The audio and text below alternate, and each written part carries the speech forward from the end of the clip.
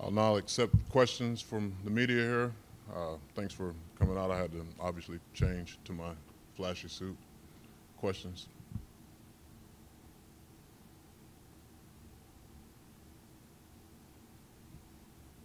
Tom. Titus, did R-Truth do anything to surprise you tonight? R-Truth was exactly who I thought he was.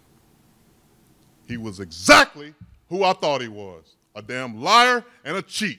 That's exactly why I had him to the, go to the damn ring.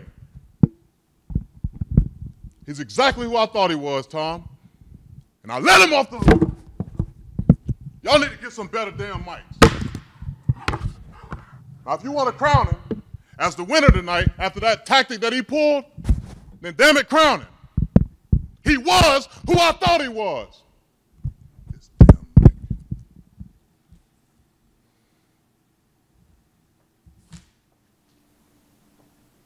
And I don't know how I forgot this part. And another thing, hashtag make it a win.